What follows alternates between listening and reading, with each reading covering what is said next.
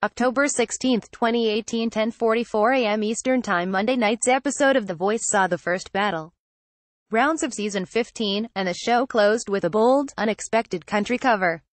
With high-flying soul belters Colton Smith and Patrique Fortson set to square off in the night's final battle, Coach Jennifer Hudson pulled a fast one on viewers.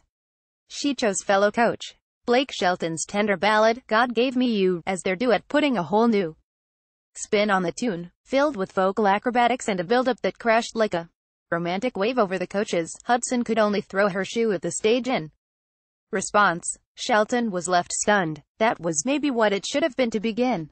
With Shelton said of the high-energy version, Hudson ultimately had to choose between Smith and Fortson, and went with Fortson, the Atlanta native and former child R.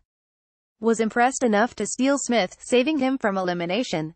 You just took my song to a new level, Shelton raved. From one vocalist to another, respect.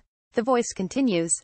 With more battle rounds tonight on NBC at 8 p.m. ET, plus guest coaching appearances from Keith Urban and Thomas Rhett, who is set to advise Kelly Clarkson's team.